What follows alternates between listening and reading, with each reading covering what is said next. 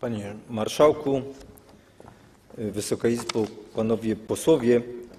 Holding węglowy faktycznie pozyskał w ubiegłym roku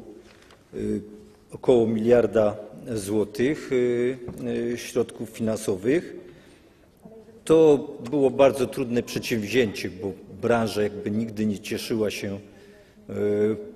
uznaniem banków. I przypomnę, że, że no jednak jest duże spowolnienie i, y, i mimo tak, tak niesprzyjających y, okoliczności ten kredyt konsorcjum pięciu, y, te, te obligacje poręczyło pięć y, banków y, i dało y, środki. Oczywiście bardzo to do, y, dobrze y, obwarowane przez, przez y, te banki. One głównie miały, y, pierwsza transza 300 milionów y, poszła na spłacę zobowiązań wobec instytucji bankowych, jeśli się dobrze, bo pytanie jest jakby nie wprost, y, także mogę się tu co do szczegółów mylić, ale tak jak dobrze pamiętam i wtedy uruchomiono te pozostałe 700 milionów. One były na y, przekwalifikowanie zobowiązań y, krótkoterminowych i przeterminowanych na zobowiązanie długie, długoterminowe, no co, co po- w, e, w efekcie poprawiło e, płynność e, tej firmy, lepsze, lepiej realizowanie płatności wobec kontrahentów. To, jest działanie na wskroś pożądane i, można powiedzieć, że ten proces akurat zakończył się sukcesem bo spółka dostała od- oddech. Y, Dzisiaj inwestycje we spółki, w wszystkich spółkach węglowych idą w dobrym tempie. Te wskaźniki, które w górnictwie są, pokazują, że znaczące kwoty są e, e, inwestowane i jakby same inwestycje wskazują, że, że, że mm, są przygotowywane fronty robót na to, aby, y, aby produkcja węgla była na, na niezmiennym lub zwiększającym się y, poziomie, bo przypomnę, że tak stało się właśnie w ubiegłym roku, trochę niefortunnie, bo zwiększono y, wydobycie węgla energetycznego, y, podczas gdy y, rynek y, dawał już sygnały w ubiegłym roku, że nie jest w stanie wchłonąć nawet tej ilości, y, która była w 2011 roku. Y, Też y, y, w 2012 znacząco spadło import węgla y, z 14 milionów do 9 milionów y, ton w 2012 roku, także y, y, to wielokrotnie procentowo więcej spadek był zużycia węgla y, importowanego niż węgla krajowego, ale oczywiście zadaniem spółek jest y, sprostać konkurencji i niektóre spółki, a wręcz niektóre zakłady spokojnie mogą konkurować y, na, na rynku nawet z każdym węglem, nawet z tej bliskiej zagranicy, y, bo niektóre zakłady no, po prostu mają tak, tak, tak dobre warunki geologiczno-górnicze, jak i y, no, dobre złoża, tak, że mogą spokojnie y, i, i- one są spokojne o swą przyszłość, no, ale są takie zakłady, no, gdzie nie są w stanie sprostać wymogom cenowym rynku, no i w ten sposób podwyższają średnią cenę sprzedaży węgla dla spółki, wtedy ona się staje y, y, potencjalnie mało konkurencyjna wobec tego y, napływu węgla z zagranicy. Jeszcze o miejscach pracy, bo tu w górnictwie warto o tym pamiętać, że co roku z kompanii węglowej to jest ponad 4 tysiące górników odchodzi na wcześniejsze emerytury górnicze i, y, y, przemysł górniczy jest w stanie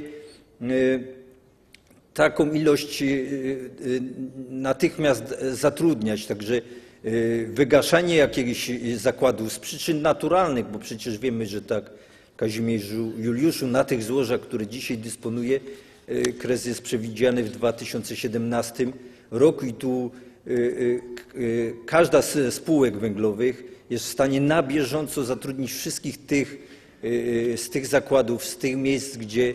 gdzie te zdolności wydobywcze trzeba ograniczać. Także tu branża gwarantuje y, pracę każdemu y, górnikowi górnikowi, który utraciłby miejsce pracy w dotychczasowym zakładzie wydobywczym ze względu na, na, na, na konieczności ekonomiczne czy wyczerpywanie się złóż. Jeszcze Panie Marszałku, jeśli można, oczywiście te sposoby wygaszania kopalni, zmieniania właściciela y, no są różne. Mamy przykład taki najświeższy y, z, y, z, z kopalni Silesia, tak, gdzie to związki zawodowe akurat były motorem y, tego, aby ta y, spółka, która, ta, ten zakład, który stale przynosił ogromne straty dla kompanii węglowej, znalazł nabywcę i dzisiaj wiemy, że jest inwestor czeski, który tam setki milionów już pompował. Dzisiaj nie można powiedzieć jeszcze wprawdzie, że, że osiągnięto sukces, bo, bo jak wiemy, y, tam jeszcze ani pełnej zdolności y, wydobywczej nie osiągnięto, y, no ani, ani ten rachunek ekonomiczny dzisiaj nie jest taki, jakby, jak, jak wszyscy oczekujemy, bo też trzymamy kciuki za sukces, tak, żeby ten przykład był wzorcowy do rozwiązywania problemów, bo to przecież tam zatrudnienie już wygasało, a dzisiaj tam jest dwa razy tyle w tym zakładzie zatrudnionych niż y, w momencie, w którym kopalnia go, e, t- ten zakład e, sprzedawała. Ale też mamy przykład y, Czeczota, który najpierw był połączony y, z Piastem, a w 2006 roku y, os- ostatnia tona wyjechała na górę, no bo po prostu te złoża, y, ze złoża się okazały mało efektywne i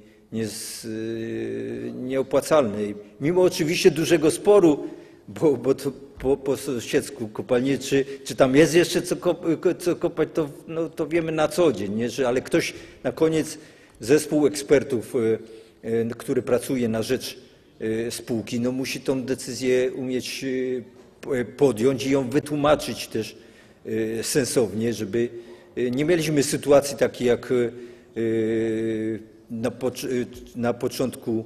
y, czy na w końcu tego wieku, w, w, okresie transformacji, że faktycznie dochodziło do niektórych zamknięć, które dzisiaj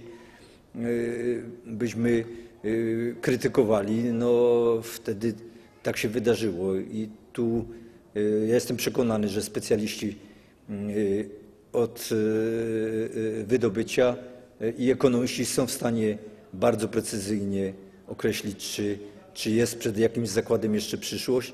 czy on jest obciążeniem dla wyniku i, i dla, dla rentowności, pod, a ta rentowność jest potrzebna po to, żeby można było inwestować y, w te miejsca pracy, a ich jest na, na dziesiątki lat jeszcze, tak? Tylko no ta, ta, ta, to zrozumienie tych procesów y, y, w górnictwie muszą być nie tylko po stronie właścicielskiej zarządów spółek, ale też po stronie związków zawodowych. Do tego namawiam, a- aby y, o tym dyskutować jednak z zimną głową, a nie z emocjami. Przepraszam pana marszałka, ale myślę, że temat dla, dla Śląska i górników bardzo ważny. Dziękuję.